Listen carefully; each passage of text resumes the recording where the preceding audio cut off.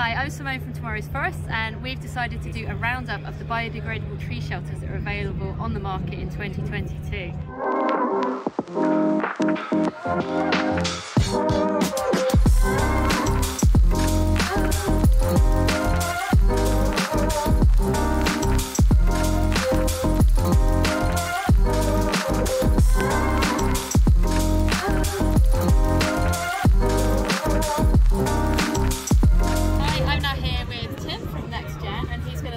Um, their biodegradable, biodegradable tree juice and tell us a little bit about the history of the company. So uh, tell us where the company came from. Okay, so the name NextGen, um, the person who started the Tubex business, which everybody knows, Tubex tree shelters, um, that was a guy called Graham Hurlstone. Yeah.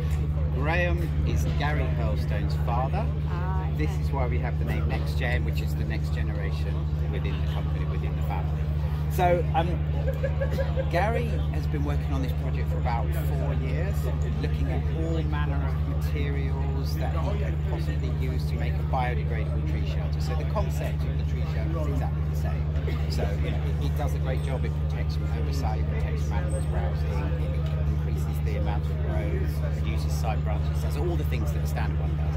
But Gary's concept was it must be 100% biodegradable all elements, including the tie, which is one that is a bit of a challenge for a lot of people. So, after looking at many different materials, uh, things like coconut fibre Gary came up with wool. Now, Gary's wife is from Wales.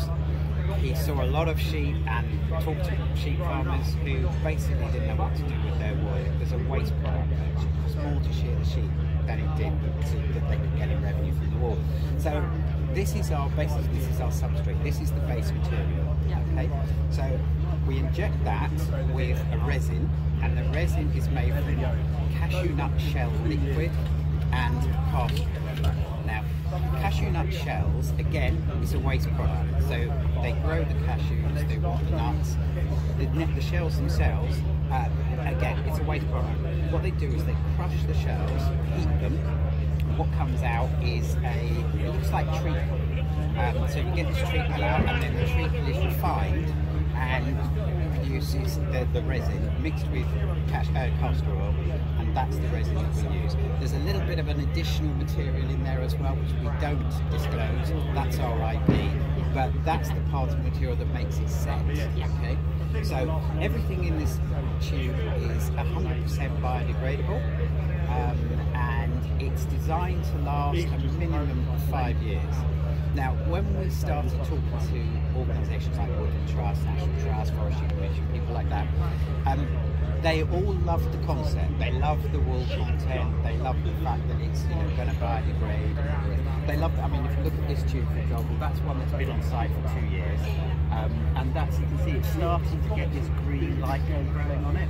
Um, they, they love the concept, but they said if we're going to pay more for a biodegradable tree shelter, we have to be sure it's going to work. This is public funds we're using, so we went away and looked at this. Um, we were convinced that it would do its job and it would last for a minimum of five years, which is what they were asking for. Um, Gary did was talk to some of his contacts, uh, Lloyd's of London, a division of Lloyd's of London looked at this, they looked at all the technical information behind it, and they said, yes, we agree with you, we think this is a good, a, a, a good product for us to warranty, and so it's costing us, it's costing us a little bit of money to create this warranty, but now, what you get if you buy NextGen is a product that's 100% biodegradable, everything including the ties, including the strapping that goes around it, including the bags, all biodegradable and it's guaranteed to last a minimum of five years. Now what that guarantee covers is the actual material itself. It doesn't include things like stake, uh, doesn't include uh, if somebody goes through with a strimmer and cuts the bottom or something, but the material itself, if that material were to start to break down within five years and expose the tree to potential damage from browsing or whatever, the warranty would kick in. And what the warranty says is if that happens, we will replace the tube, of course, which anyone would have to do under the Consumer Rights Act anyway if it failed to do its job. But we would replace the tube, we would give the customer the money to buy another tree if they needed one, if the tree had been damaged. But most importantly, we would cover the cost of the labour to go back onto site and to put the damage right. Now, clearly, we don't think that's going to happen, um, but if it did, completely covered. So people like Woodland Trust, National Trust, it's public funds, they are safe in the knowledge that this product is going to do what it's supposed to do. What, what are your um, cable ties with? What are They're, the ties they're metal. Yeah. Um, and yet now, once you can see on here, ah, these are. Now, I'm going to get the camera around here. They started out looking like this. Now, th these are the, the sort of uh, ties you get on a potato sack. Now, that was our first idea because we didn't want to use plastic zip ties. We wanted to use something that was degradable. This is just steel and it's going to rust after about five years and fall to the ground. It won't do any harm. But this would require um, a separate tool to do twisting, and we wanted to try and get away with that, or get away from that if we could. Also, another downside to this is it's really difficult to get it off if you want to do any beat up. So you would have ended up cutting it off. So Gary's come up with this, which is a different design, which basically just opens up. Sorry, I'm gonna put that here. So literally, you can open this up. Yes, like that, and you can do it up again. You just basically put it through this slot. But essentially, that's how it will work. And you can take it off and put it back on. Lem- uh, And that breaks down as well, does it? Or do you exactly. remove it? It's yeah, gonna breaks it's down. gonna rust into the soil. Yeah. So yeah, it's a really nice story, especially the using the British wool in a, Yeah. in a yeah, a, Yeah. a, a, sort of like Everybody loves the idea. You mentioned just now um, that, that you're looking at getting a standard. So obviously, there's no standardised kind of um, uh, spec for, for biodegradable tree tubes. Can you tell us a little bit about, about that? Yeah, we think to have a standard is really important because if people like, if we're going to ask the Forestry Commission to give us extra money or give customers extra money to use a biodegradable tree shelter, then they, they need to be sure it's going to work. I mean, we've got our warranty, which is one thing, but we think going forward it needs to be a standard that perhaps could apply to other tubes as well as ours. So we've commissioned a company in Scotland called Impact Solutions to create to, to test our product and to create a standard from that testing process. So we'll be looking into things like will it last a minimum of five years? What about the light transmission? What about the materials that are in there? Is there any toxicity or will it change the pH or anything like that? And how will it degrade? So we've employed this company to do that and the process will take about 18 months. We started it in May, so by next November, the process should then be complete. And what they'll create for us is, I don't know whether it'll be a BS number or whether it'll be an EN number, we're not quite sure yet, but there will be a standard that can be applied to biodegradable tree shelters that will give the buyer the confidence to know it must meet these these, these criteria if you're going to call it a biodegradable tree shelter. That's a really good idea, and it will drive the whole industry sort of uh, make it more reliable, and yeah, people, Yeah. people will have more, more confidence in, in the tree shelter. I think so. And, and I say we're, other, other people will be able to put their products forward for, for testing um, and to, to apply for the same standard. All good. We're all pulling in that direction.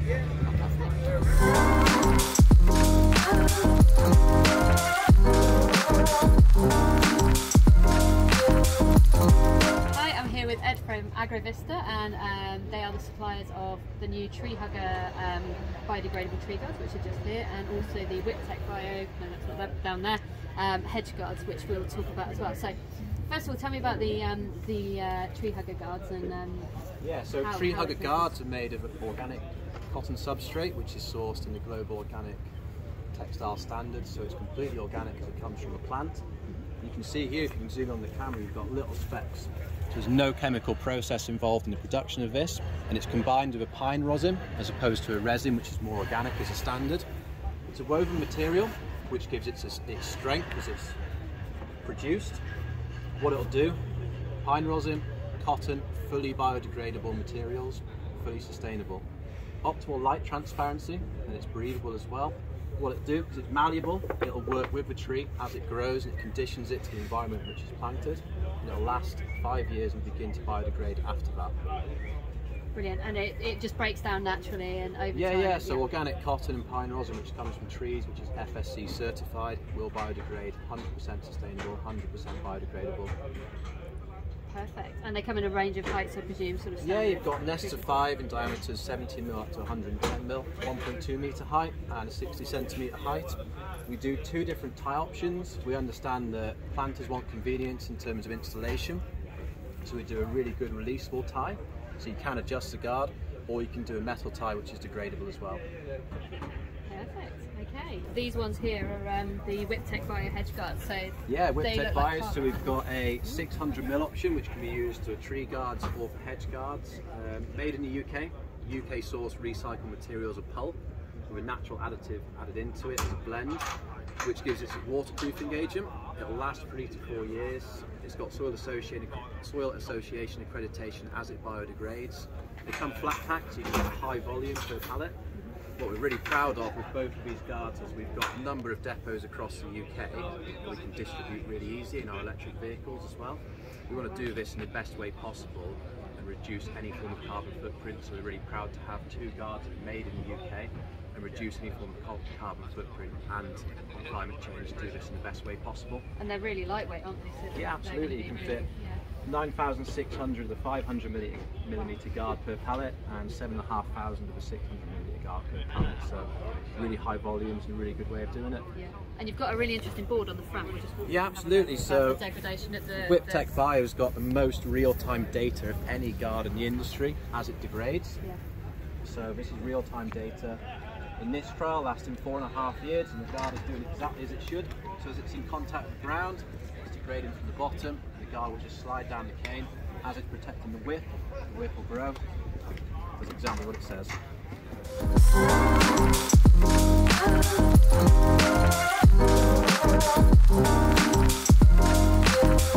I'm here with David from um, and they've developed a new biodegradable tree tube, and he's going to explain to us a little bit about the history of why you started working on these and um, what it's made of and the benefits. It's quite different from some of the other ones we've seen, so um, we're quite intrigued to find out more. Okay, yeah. So Eco Haven was basically an idea in my mind two years ago. Um, we are, as a family business, we specialise in biodegradable solutions for construction and landscaping, and a lot of that's to do with silt management and erosion control. And it was while we were doing an R&D project to develop a silt pocket that I realised that by putting a post in the material, if you looped it round, it became a tube, it looked like a tree guard. So thanks for our many years of dealing with lots of manufacturers in that industry, we uh, identified a resin that we're using for a biodegradable peg. We realised that that could be extruded and used to make the tree guard material. Um, we focused on the design throughout to make it sure that the environmental credentials are the best that they can be. So what, what are the tubes made from?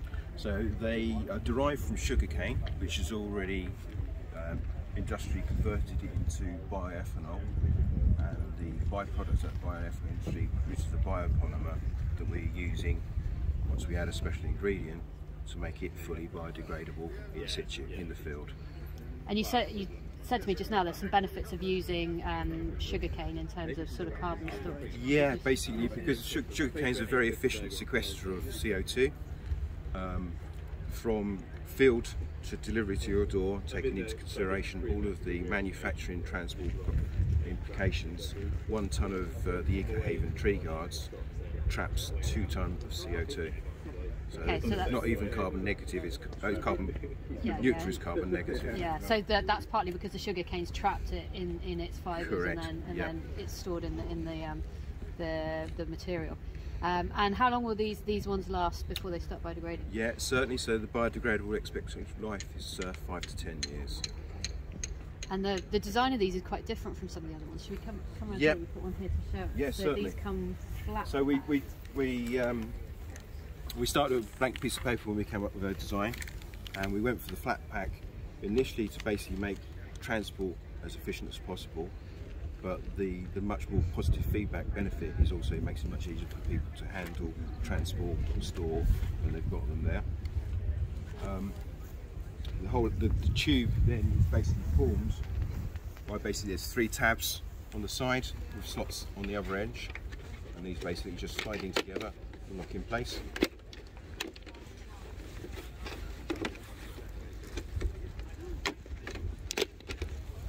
And there's the finished tube.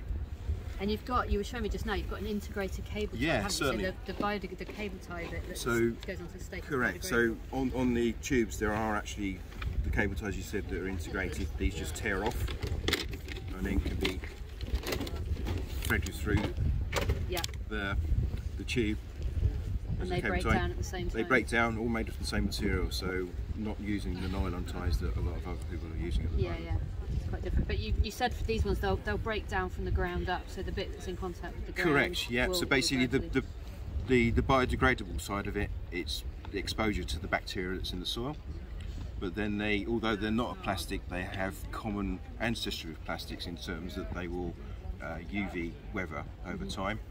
So we we can control that UV life, but it then means that after seven years, it will start to become brittle and crumb, unlike conventional plastics where it just sits in the ground as a microplastic. As soon as it's exposed to the, bacteria, they'll digest it. Yeah. Brilliant. And you, you said to me just now that um, you do them in a couple of heights at the moment. Yeah, so we've whether it was a clever idea or not, we've only gone for two heights, a 60 centimetre and a 90 centimetre. Yeah. But they're designed to be modular, so they link together. So then you can combine them to produce a 1.2, a 1.5 and a 1.8 as well.